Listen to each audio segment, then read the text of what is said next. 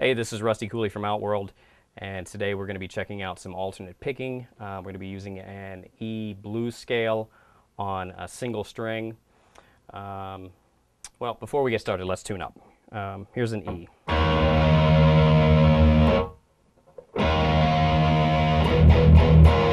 All right, there you go. So let's look at what's going on. Um, everything with the right hand is alternate picking.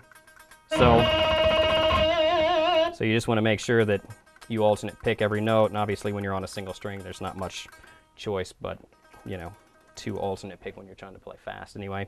So a couple of pointers on the picking is make sure that you hold the pick um, close to the tip and you want to have a slight angle so that the pick cuts through the string a little bit. If you pick flat, you get you get hung up on it and it uh, it'll slow you down. Another thing that I do when I'm picking really fast is I'll pick closer to the bridge because the string tension's tighter back here and there's less give. The closer you get to the neck, it gets real floppy. So it's uh, for me, it's better to pick back here.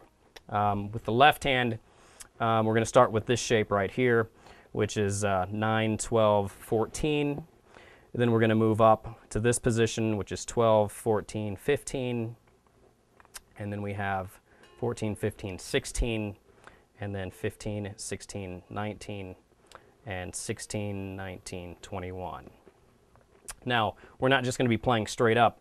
We're going to be using a sequence of fives, um, or a grouping of fives, which is one of my favorite ways to play sequences. So I'm actually going to start um, on the 14th fret with my pinky, and the first group of five is going to go like this. We got one, two, three, four, five. Okay, so now one of my favorite things about fives is every time you move up in the sequence, the group of notes flips um, the direction the notes are going. So what I mean is the first group of five uh, descends and then ascends. The next group of five is going to ascend and then descend. So and then we got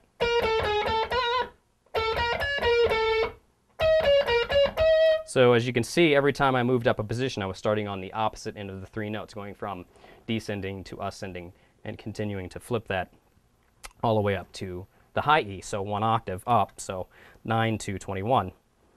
And once you get up there, then we're just going to turn it around and go back. So.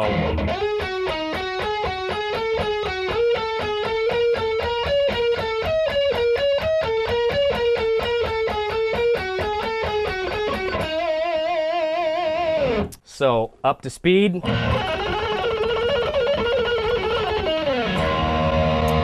All right, that'll do it for this month. Thanks for checking it out. See you next month right here at deanguitars.com.